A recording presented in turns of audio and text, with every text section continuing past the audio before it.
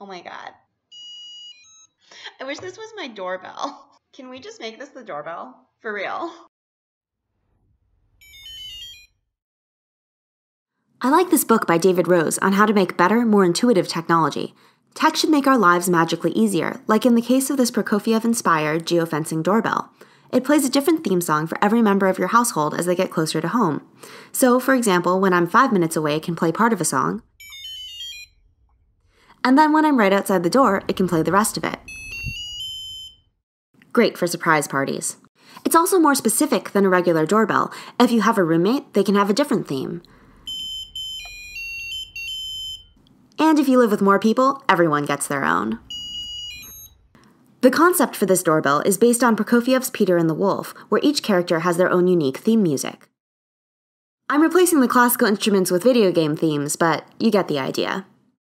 Building a magic doorbell is shockingly easy. For the doorbell itself, all you need is a particle internet button and a power source. You can make the rest of the system with your computer and free accounts on Particle Build, Hook.io, and IFTTT. To track location, we can use our smartphones. The internet button can play music and light patterns when stuff happens online, so we can go on Particle Build, assign different music themes to different people, add some light patterns, and download the code to our internet button. If you don't feel like writing this yourself, don't worry, you can use my code at hackpretty.com. Now we need a way to send our location to the internet. Enter IFTTT.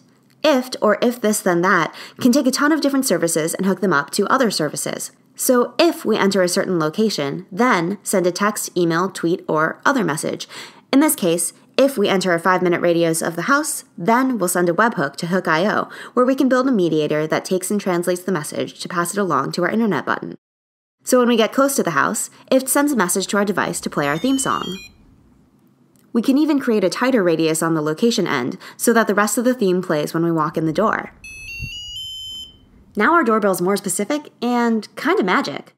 For more DIY electronics and design, check out the website Learn to hack pretty much anything at hackpretty.com.